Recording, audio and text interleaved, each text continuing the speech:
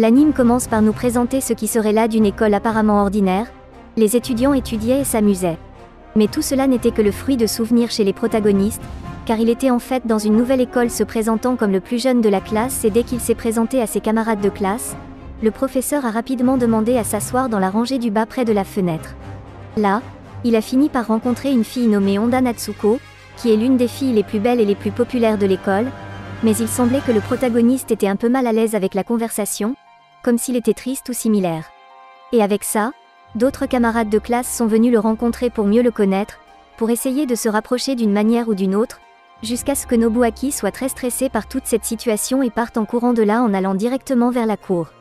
Quelques heures après, notre protagoniste était là sur la terrasse de l'école jusqu'à ce que Honda Natsuko finisse par apparaître et lui demande si tout allait bien ou si quelque chose s'était passé dans son ancien collège, mais cela n'a pas duré une minute, il est déjà parti en lui disant de s'éloigner comme s'il ne voulait pas se lier d'amitié, et comme Natsuko a réalisé qu'il y avait quelque chose de très mauvais avec notre protagoniste, elle a insisté pour qu'il oublie le passé et se fasse de nouveaux amis à cette école en l'invitant à rejoindre un club.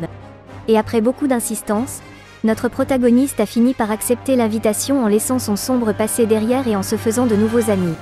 Après quelque temps que notre protagoniste a déménagé dans cette ville, lui et tous les étudiants de sa classe ont fini par recevoir le même message sur leur smartphone au sujet d'un jeu du roi, où les demandes et les règles étaient absolues, et dans ce message qu'ils ont reçu était écrit que notre protagoniste devrait embrasser Natsuko sinon la condition serait la mort. Le lendemain, au tout début de la classe, tous les camarades avaient également reçu le message et ont fini par interroger Nobuaki sur la véracité de ce texte, lui demandant s'il tenait vraiment assez à Natsuko pour écrire quelque chose d'aussi absurde que cela. Mais lorsque Natsuko a dit que cela ne la dérangerait pas de l'embrasser,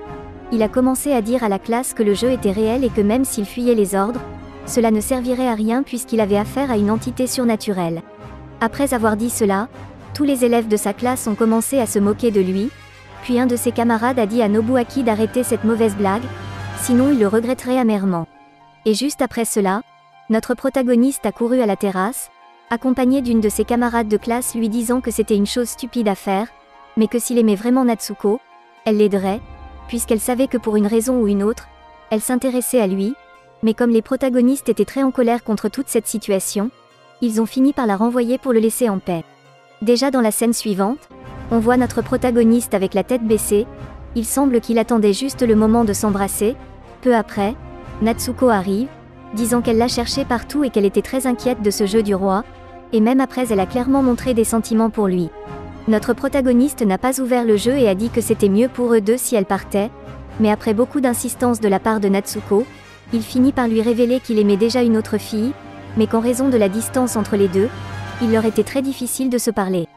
Et quand Natsuko a entendu tout ça, n'a pas réfléchi à deux fois et a sauté par-dessus la barrière qui les séparait et a même dit qu'elle pouvait l'aider à avancer, l'embrassant à seulement 60 secondes de la fin des défis du roi.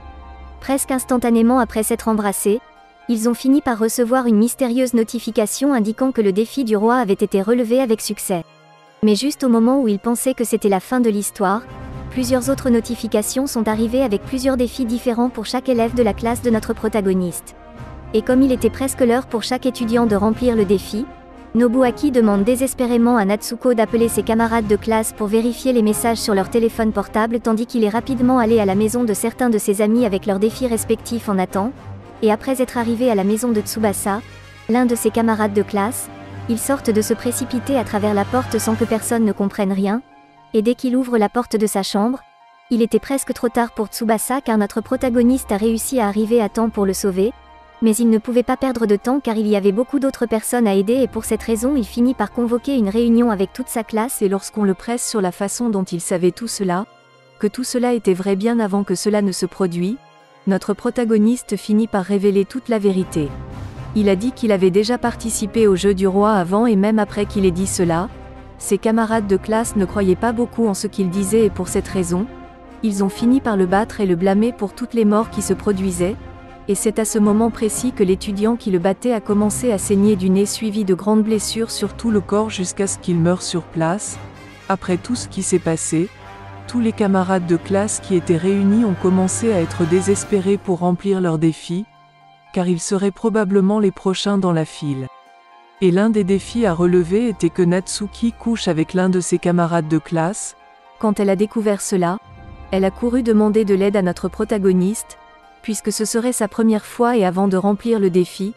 elle a préféré que sa première fois serait avec quelqu'un qu'elle aime, qui dans ce cas serait avec Nobuaki, mais avant que quiconque puisse prendre une décision hâtive,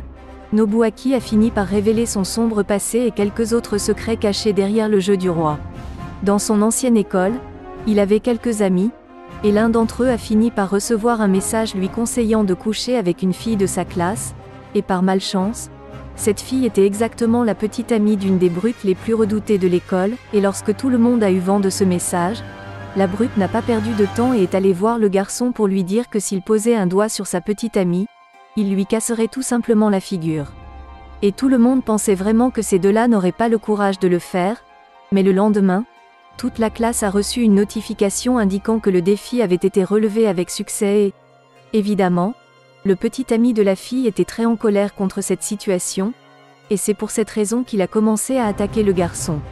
Un message selon lequel la brute avait l'autorité du roi de l'époque, c'est-à-dire qu'elle pouvait forcer quiconque à faire ce qu'elle voulait. Et avec cette autorité, il a fini par ordonner à Tazaki de se pendre, et puisque dans sa tête tout était une blague planifiée par une personne anonyme et que ses ordres ne feraient aucune différence dans leur vie. Cependant, le personnage principal et le reste de sa classe n'étaient pas d'accord avec cette absurdité et c'est pour cette raison qu'il a appelé l'autre camarade de classe à rester avec Tazaki jusqu'à ce que le temps stipulé pour le défi soit passé, et après avoir quitté l'école, ils ont convenu de rester chez lui à jouer de la musique et à planifier de créer un groupe plus tard, lorsque le temps pour relever les défis est passé, ils ont renforcé l'idée que toutes les morts qu'ils ont eues dans le passé étaient une coïncidence, alors ils se sont détendus,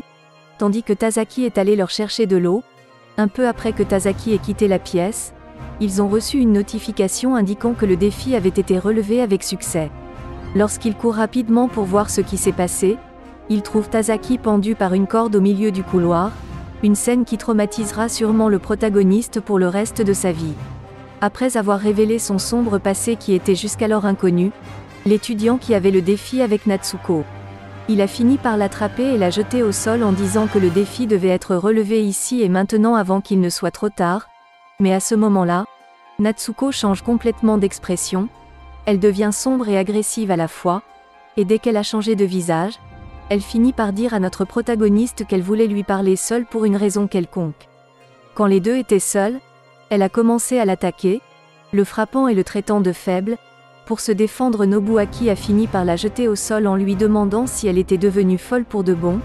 et à ce moment-là Natsuko a commencé à crier qu'elle était maltraitée par notre protagoniste, et quand ils sont tous arrivés pour voir ce qui se passait. Ils ont fini par le frapper et le battre jusqu'à ce qu'il s'évanouisse et c'est alors que notre protagoniste s'est rendu compte que Natsuko n'était pas ce qu'il pensait, au contraire, c'est une femme dangereuse qui s'il ne fait pas attention pourrait mettre fin à la vie non seulement de lui, mais aussi de toute sa classe, alors Kenta, un des camarades de classe de Nobuaki est arrivé pour voir ce qui se passait, il a fini par trouver notre protagoniste allongé sur le sol, inconscient, et pour cette raison a demandé à tout le monde ce qui se passait là et pourquoi Nobuaki était comme ça, et c'est là que Natsuko a fini par donner le téléphone à son collègue pour envoyer un message disant que Nobuaki et Kenta devaient mourir sur place, et quand elle a révélé qui il était vraiment en fait. Ses camarades de classe n'ont pas supporté ce comportement en disant qu'elle devenait folle, et juste après cela, Kenta a fini par mettre notre protagoniste sur son dos pour l'emmener à l'hôpital aussi vite que possible, et c'est à ce moment-là qu'une autre partie du sombre passé de notre protagoniste est révélée. Mais comme cette vidéo devient trop longue, je la diviserai en deux parties dès qu'elle atteindra 600 likes, car je saurai alors que vous appréciez et que vous voulez ou non que j'apporte plus d'animes comme celui-ci. C'était donc la vidéo. J'espère que vous l'avez aimé. N'oubliez pas de laisser votre like et de vous abonner à la chaîne. Merci beaucoup et à la prochaine vidéo.